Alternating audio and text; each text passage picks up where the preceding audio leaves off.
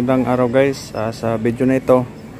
Papakita ko sa inyo kung paano palitan yung bumbilya o bulb ng ating brake light sa isang Hyundai Ion pero bago tayo magpatuloy guys uh, paki subscribe mo na paki-hit yung bell icon para ma-notify ka sa susunod kong mga videos. Kaya tara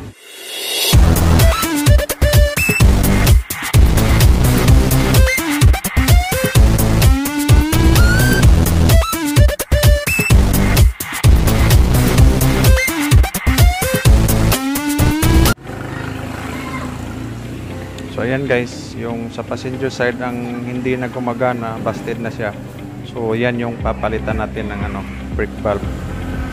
Bumbilya niya. So ayan guys. Ang unang gagawin natin is bubuksan natin yung gana yan. And then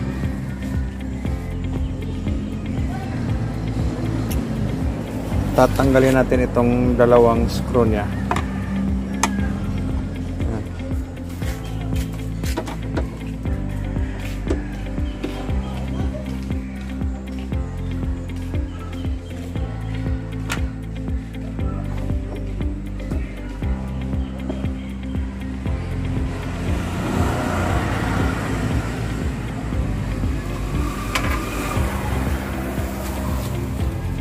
tapos tanggalin yung dalawang screw. Hilayan lang ito paangat.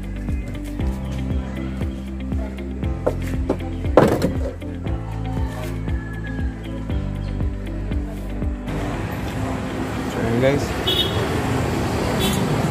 Ito yung sa park light nya ito yung sa reverse light nya ito yung sa signal light nya saka ito yung sa brake light nya so in this case guys yung busted yung light niya. Ikutin lang natin ito. Counterclockwise. Yan. Ito rin. Tingin natin. Then ikot. Counterclockwise. Yan. Ganun lang kadali guys.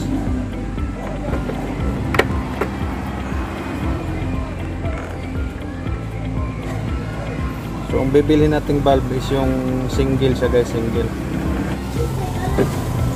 yan guys. Ito na yung bagong bulb niya.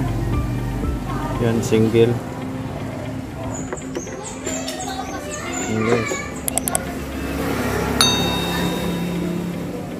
Diin lang natin yan. Tapos kotin natin siya clockwise. Yan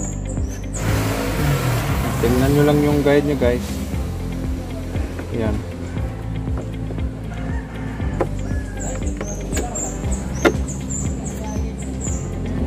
then ikotin natin siya clockwise. Yan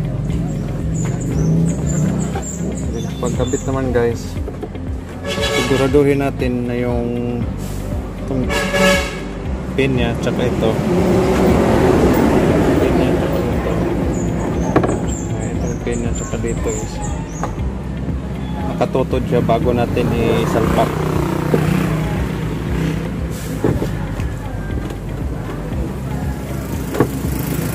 nakatutod na, hidiin lang natin. Ayan.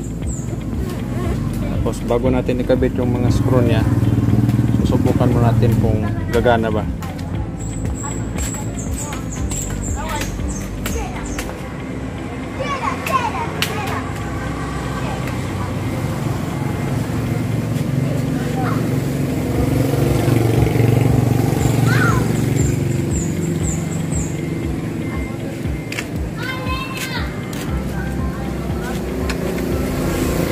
guys lumana siya so pwede natin ikabit yung ano, mga screw niya.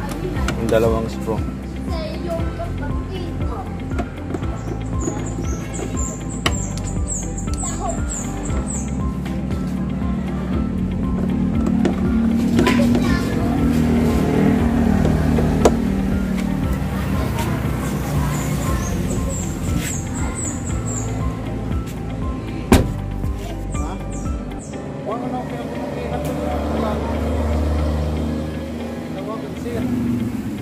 So ayan guys, okay na siya.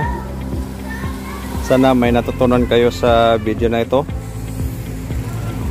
Ah, bago tayo magtapos, ah, paki-subscribe, hit yung bell icon para ma-notify ka sa susunod kong mga tutorial videos.